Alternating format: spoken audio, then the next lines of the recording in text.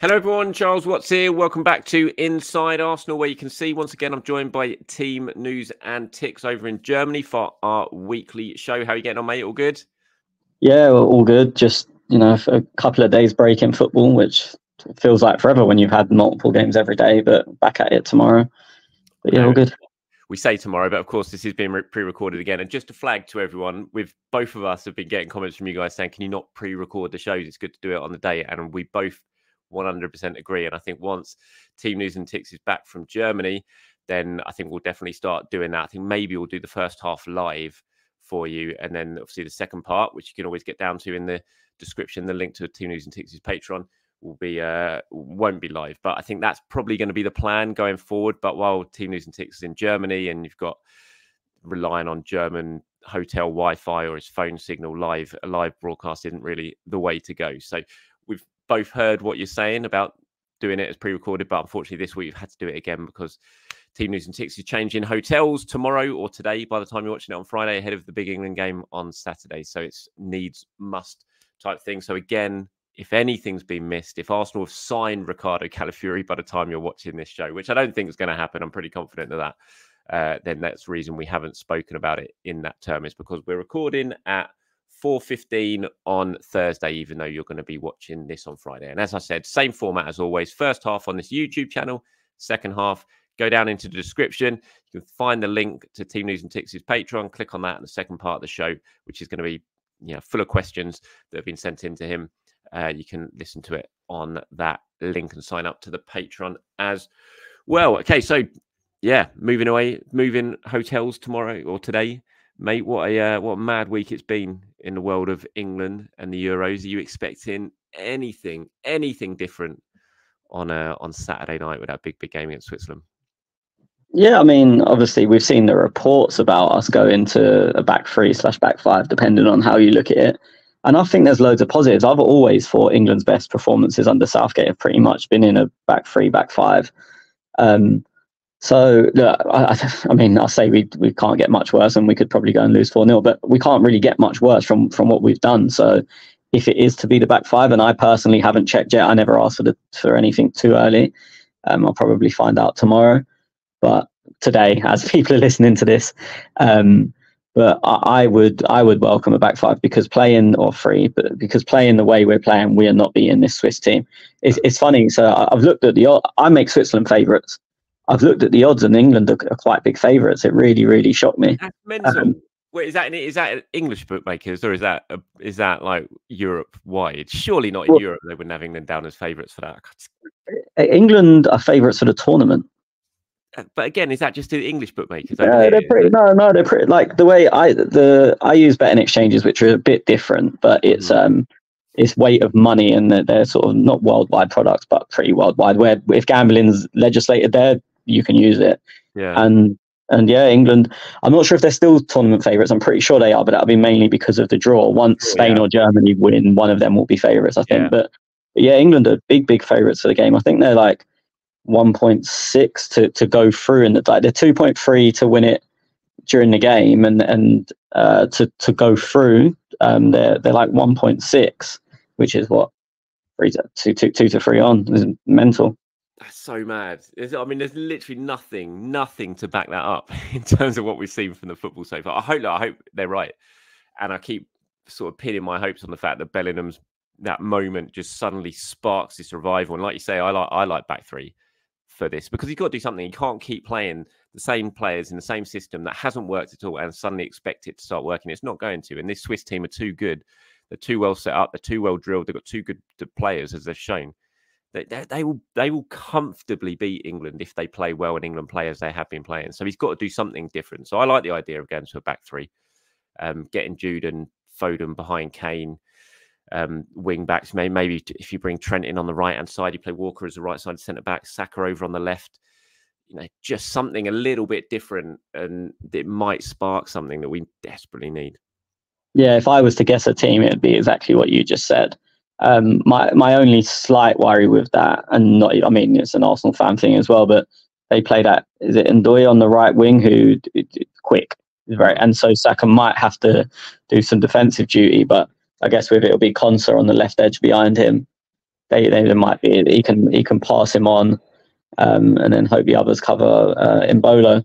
Yeah. But I mean, it'll be as you said, they're very well drilled Switzerland, so the tactical battle um, will be will be a very key one. I think if you if you go through the individuals, you'd say England's are better, but it will be a, a key key tactical battle and a systematic battle, and I'm not sure I fancy that's in that. But as I said, I'd give us a lot more chance with a back three, back five than than I would with the nonsense we were serving up already. And not that he's ever been there, but he gets Foden off the left wing because it's just a it's just a void there because he either refuses to play there or when he does, he's he's not a left winger. Mm. Yeah, no, absolutely. Right, let's talk about Arsenal, shall we? Um, I don't know if you've seen this yet. You probably have. Um, Mikel did a, a, a good interview with James Olley over in Marbella, sort of previewing well, just the summer. It's ahead of the US tour and everything like that. And um, he was speaking about stuff like myself and James Benge in our Inside Arsenal Extra Time show yesterday. We're talking about what he had to say about his new contract um, or the contract talks. But he also spoke about transfers, and it's quite interesting what he said. He was asked about um, if the sort of suggestion that Arsenal are looking for one or more attacking players to help make the difference. And he says, We are looking to improve in every possible department. With the new regulations, there are certain things we have to respect and be conscious of. And then obviously the Euros and Copa America are slowing everything down. Hopefully now it is going to pick up a little bit. He was asked how active he thinks Arsenal are going to be. He said, I think both ways, players coming in, going out. There are things that we have to improve, that's for sure. And we are going to try, but the market's tricky. We have been very aggressive and we are very determined and we have a clear idea of what we want to do. It will come down to finding the right agreements at the right time.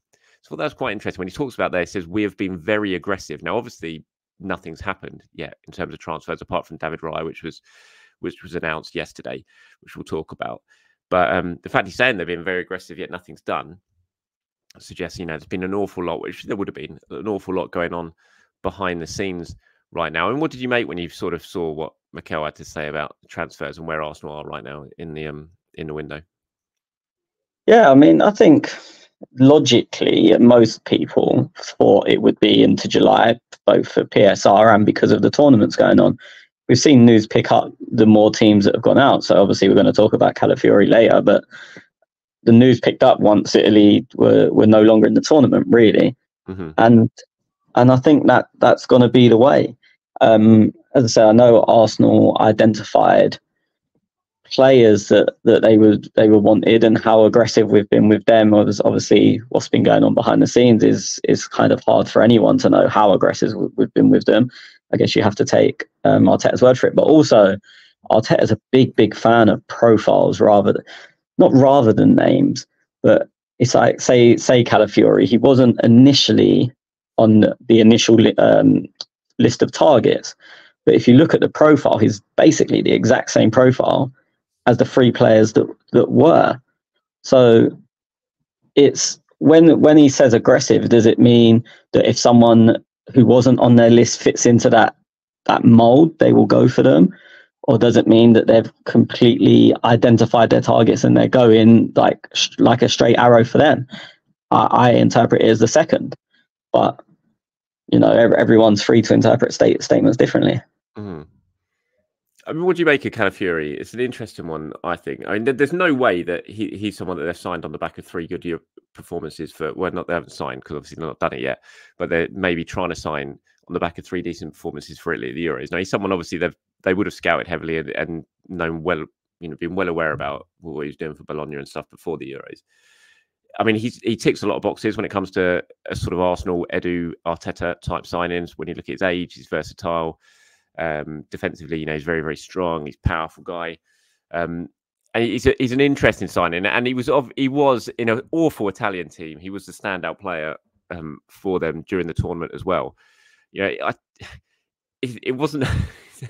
I've been laughing about it for the last day or so that in in a window where all the talk is about who Arsenal are going to sign in the attack, they go they could end up going out signing a left-sided defender first first out the blocks. It does make me laugh, but um, it's uh, it's an interesting sign. I think it's one.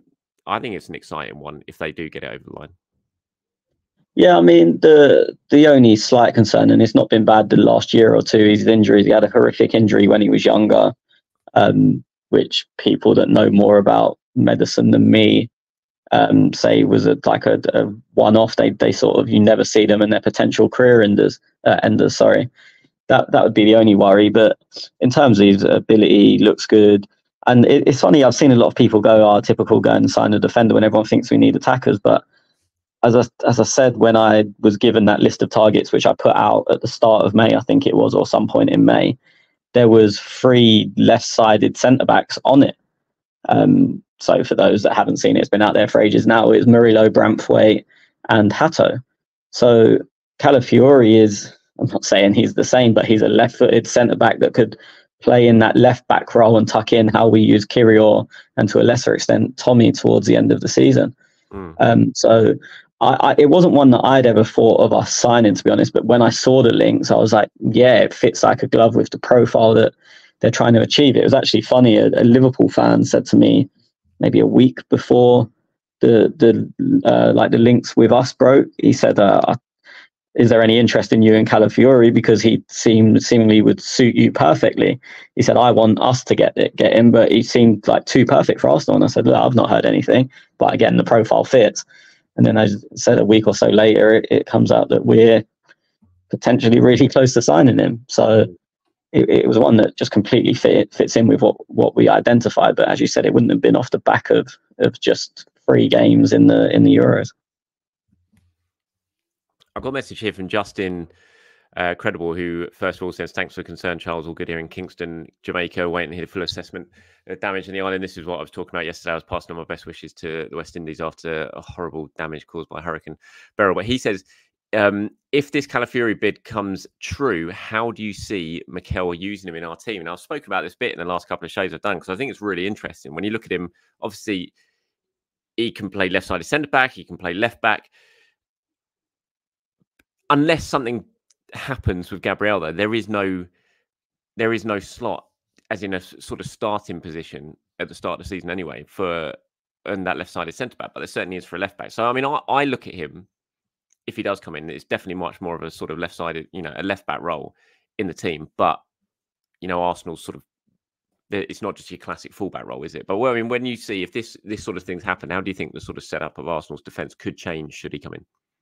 Yeah, I think on a on a team sheet, as you look at it when it's printed on Sky Sports, TNT, wherever you watch your football, he will be listed as the left back with mm. with Gabriel, left centre back Saliba, and Ben White. But in reality, they want someone that can basically essentially make a back three, and then Ben can go and wonder as he did in the in the second half of the season. First half of the season, and maybe the year before that, it was more Ben tucking into the right side, Saliba being middle, and Gabriel being the left centre back, and and Zinchenko going to wonder. So Arteta does like that, and he he loves the the ability to to switch dynamics quite easily. And this is what I think is very interesting about Calafiori is that in a game, if that if he's the one that tucks in and Ben is is wondering and it's not working for whatever reason, I think Calafiori could we could do the opposite. So, but within in-game management, say where with with Timber, you could kind of get him as the left centre back, but you could definitely get him doing the inverted thing. But the left centre back wouldn't be as as tight. I think with, with Calafiori, he looks like he has the profile to do both. And in game or even within like one attack, it could be Ben wondering. And as long as that relationship's good, it could be then Ben sits back and, and uh, forms part of the back three, and Calafiori goes goes wandering. Mm. I think he's a is a slight bit of a unicorn profile in that sense, where he is a proper defender, but he, he, he can play and he will be able to join in. Yeah, I think his attributes look very, very, very appealing in terms of what Arsenal could do. I remember you talking about um, the when you're talking about Gerald Hato and when Arsenal was sort of talking to him and having to sort of convince him that, that you wouldn't be coming in as a left back. You know, yes, you might be down on the team sheet as a left back type position, but you're going because of the way we play and with Ben t- tucking into midfield, it's very much a sort of left sided centre back role, and it's like exactly the same, wouldn't it? You sort of envisage envisage for Calafiori. Yeah, yeah. As I said, the profiles of the of the three players I, I just named could all play play that role, hmm. and they're they're obviously ruled out for different reasons.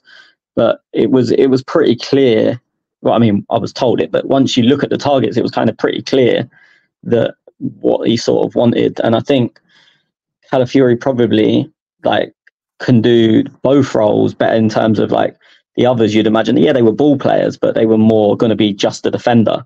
Whereas, whereas I think Calafiori probably has a bit more scope to interchange with Ben in that Ben can sit back and, and he can do the wondering. Cool. Right. Look, Justin. By the way, thank you very much for the uh, for the message, and I'm glad that all is good with you guys in Kingston. I hope um, anyone, everyone else over in the West Indies is doing okay after the uh, the hurricane that came in. So thanks for getting in touch, Justin. Right, I wanted to talk to you about this. This uh, mysterious German footballer that everyone seems to be talking about that Arsenal could potentially sign this summer, uh, which has just been making me laugh. Just the, did you see the video of the um the guy setting up the uh, was it the cars? Oh yeah, George Gendu, I think his name is George something. Yeah, setting up the cars. It just was making me laugh. Like if that, I mean, I, I have no idea if that's legit or not, or what, what the deal is with it. But I was just thinking, if that was legit, then that's probably the last deal he's going to get off that guy. Given that he then just shared the the video of him uh, all over all over the internet. But um, yeah, so John John has got in touch here. So with the news coming in of the mystery German we're looking to sign, who would your ideal transfer be? I think Sane is back up to Saka would be incredible. Olise Musiala there, he could be the one to leave to seek more minutes. But um, so we'll talk about that a little bit later on. We'll, we'll talk about the sort of our, our dreams German signings for a laugh. But what what do you know about this mysterious German? Because I have to admit, I have I know nothing about it. I've seen it, but I haven't got anything to really add information wise. But you spoke about it, didn't you, on your uh, on your Patreon recently? Yeah. So obviously, I'd seen the video from George, completely ignored it, didn't think anything of it. Like he's a marketing guy. And I thought if he actually wanted to hide it, because he kind of bleeped the Arsenal bit, it went, oh, bleep. Like if you really wanted to bleep it out, you could have just bleeped the whole word and no one would have been none the wiser. It could have been any team. So I thought, ah, it's just a market employer. And then I saw Jeff Arsenal, I think it's just that Jeff Arsenal, mm. uh, mention it. And obviously, I don't know how many years ago I might be doing a disservice, but about 10 years ago, he was the, the sort of go to guy on Arsenal Twitter for like ITK stuff. So you know, you kind of have to take a bit of notice of it. But I still didn't think much of it because Jeff's not really been uh, active, shall we say, in the last the last few years. So I thought, okay, whatever. Like I'm not going to completely ignore it, but I'm not going to go chasing it. And then my main best transfer source just uh, messaged me out the blue. wasn't wasn't hadn't been speaking to him, and he just messaged me and said like, "There's legs in this German thing." And I I had my phone in my hand. I was actually sitting in the laundrette to give some boring context. So I had my phone in my hand, and I replied within probably a quarter of a second saying who.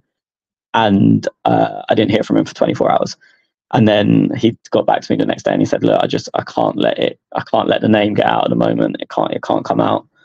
Um, so I'm sort of none the wiser. I have heard from other people since a name, I kind of don't want to put it out there because I just don't believe it, the name I've heard. Um, yeah, I've heard a name as well, but again, I'm not putting out because I just don't know if it's. I have enough I have no sense if it's right or not, and so I wouldn't. I would never put it out at this stage. But I've heard a name. It's just it is quite a funny story. I just think this. So there's you always get a story like this in the transfer window. I think. Yeah, I, I don't know. I imagine we've both heard the same name because one of the people I've heard it from I know knows you very well. But um, yeah, I just I can't see it being that player.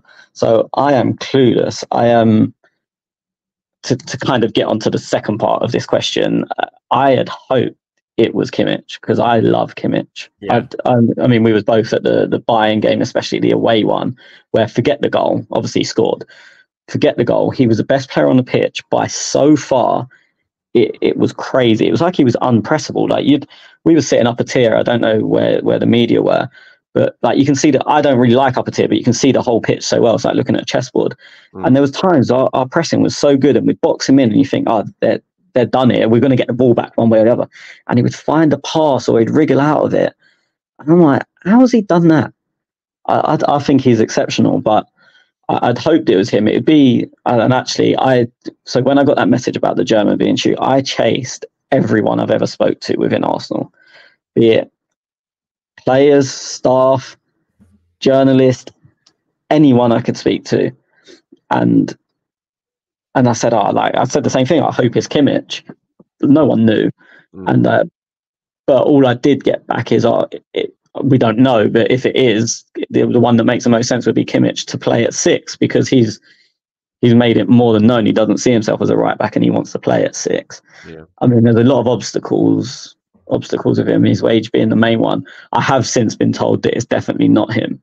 Um, but I don't know when when people are trying to hide a name so much. Are there, is someone saying it's definitely not him, just just trying to conceal it? I don't know, but yeah, I've since heard Uh, can I say where from? Mm, I can't really say where from, but uh, yeah, I've since heard it's not him. Yeah, the thing with Kimmich, and and I agree one hundred percent. I think look, I think he's a great player. I think he'd be brilliant. I is he I, I don't I don't know if it's just me, but I just don't see him as a six. I know he sees himself as a six, but I'm not sure if I see him as a six in this Arsenal system. Yeah, would you would you be do you think he's he could play that role in this system with Rice and Odegaard ahead of him? Do you think it'd be perfect for it? I just I don't know if I'm just not I just can't really envisage it as much as just an out and out proper central midfielder, if you see what I mean, which might sound a bit weird. Yeah, I mean, I, I personally, I think I, I think he uses the ball well enough mm-hmm. to, to be able to play that. He very rarely loses it. He'll have the, the power of, of Rice at eight. Um, and then obviously Martin gets for a shift. He, he doesn't do it very quickly, but he gets for a shift. So there's running power all around him. Um, and also, as we spoke about earlier, if Ben goes wondering, who better to fill in at right back? Yeah, like as in not as in an actual right back, but you know what I mean. If we get caught on the counter and someone has to shift over to right back, we've seen Partey do it and look like he's running in treacle. Whereas with him doing it, you've potentially got one of the best right backs in the world covering at right back when it's it's, it's not his job. I, I would be a, a, big big fan of it, but mm-hmm. said, I, I don't think it's him. Yeah. Um, so moving on to this question from John. Um, I suppose you probably already answered it there when he said who were the idea um, uh, with the news coming out, we're looking to sign. Who would your ideal transfer be? As Sane, um, uh, he says Sane. So, but your so your ideal one would be Kimmich. I don't know. I, like I said, I've just for some reason got reservations in my head about Kimmich, Kimmich playing as a six for us. I wouldn't be against it. Um, I think I would. Who would I go for? I think I would probably go for Sane. I really like Sane. I think he's fantastic, Sane. I still think he's got lots to give. And I think, yeah, you could add that right-sided explosive option to the attack to to sort of rotate with Saka. I think I'd probably go Sane over Kimmich, but it would be it'd be toss of a coin type thing. You know, either I wouldn't say no to either of them, to be honest. Yeah, uh, a fam- Sane's family still live in England by by all accounts as well, um, which is, you know, another another thing that could point towards him being the one that, that comes back. It's funny you've seen all the the the Twitter detectives and I'll be honest, I, have taken part in it as well. And they go, look, oh, who's got what car and what reason could it be this guy? And like you find that there's ten players that there's there's valid reasons or valid uh, you know hypotheses that it could be them. But yeah, one of the Sane ones is I'm pretty sure his wife still. I don't know if she is English actually, but i have read that she still still lives in England. Mm-hmm. Yeah, he's good mates as well. You know, he respects Arteta a lot from his time at Manchester City as well. Um, so yeah, when, it's it's funny. I, am looking forward to seeing if this actually sort of materializes into anything. It would be it would be a classic transfer window story, uh, should it happen. Uh, right, David Raya made his move permanent. Well, he did it a long time ago, but it was uh, it was confirmed finally yesterday after a little bit of a delay. Uh, but it has now been announced that he has signed. He said, Look, after a year unknown as a gunner, I can finally say I'm an Arsenal player for the coming years. I'm excited to see what the future holds, but always living um, in and enjoying the present. It's a dream come true to be here, and I want to thank you all for the support you've given me already in the last year. And Mikel was uh, obviously very delighted to have him on as well. Said he's a big presence in our dressing room. We are really pleased to keep working with him. We know he'll take the strong foundations he put in place last season and build on them in the years to come, and they will enjoy more success with us. So yeah, finally confirmed David Raya is an Arsenal player. No surprise there, was it? It was always going to happen. Just waiting for the announcement, and it, uh, yeah, it's finally arrived. Yeah, I mean, uh, it's as you said, it was it was never not going to happen, and we'd known that for a long time. It was interesting. Like I was wondering how long they're going to leave it because technically, he Brentford would have been having to pay his wages. Of course, they obviously wasn't. But as of the first, he was no longer an Arsenal player because the loan would have ended. So the longer they left it, it'd have been like, well, he's either having to Brentford having to pay him or he's actually done it and it's just not been registered for whatever reason. Mm. Um, but yeah, I mean, as, as, we said, it was always going to happen. Do you know why the uh, delay in the announcement was? That annoyed me because it made me look stupid. no, I don't know, but it's classic Arsenal. It happens all the time. Well, it happens not just Arsenal, all football clubs. It's like it's all ready to push the button, then one little thing happens, and and it ends up getting pushed back 24 hours or so. So, but um, no, I don't know exactly what it was, but um, I was hoping that they would something would give it away that they'd pushed it. Um, because when like the same thing happened when we signed him, he'd done all these interviews and stuff on the Friday, and he said that I'm looking looking forward to in his interview. He said something along the lines of I'm looking forward to doing my first training session with the lads, and then they didn't announce it till the Monday. And obviously, with that, he said in these interviews, I'm looking forward to the first training session. But they they're announcing with a load of training pictures. It's like, hang on, you just said you've not done any training yet. You'd obviously done three or four days, three or four sessions already. Um, and I was hoping there'd be something in this announcement, but the video he put out and I don't know if this is by design, but it made me laugh. He's in a room with like there's nothing, there's not even a clock behind him. It's just a blank wall. It just made me. It's probably a complete coincidence, but it just made me laugh.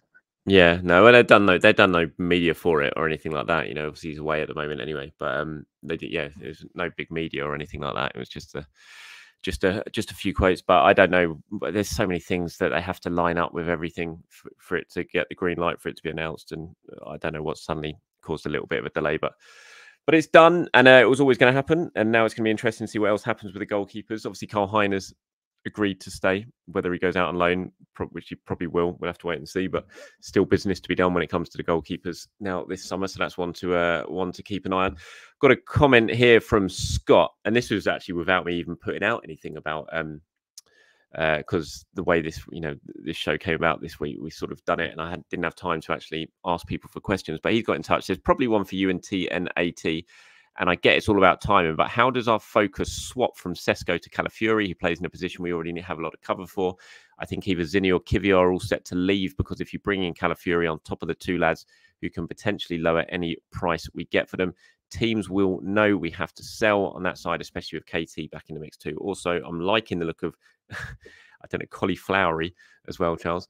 Uh, he looks like a proper 90s Italian defender in a mix of Nesta and Maldini.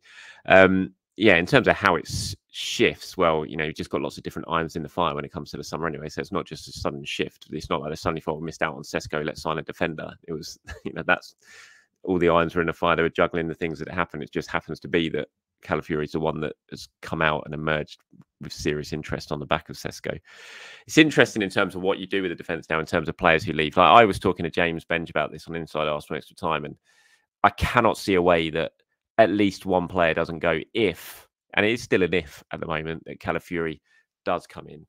And it feels like Kiwior, doesn't it? Because just because they're so similar in terms of what the positions they'll be playing in and what they would bring to the team that it does feel like if you bring in Calafiori that that kind of feels inevitable to me that Kiwior will end up end up moving on.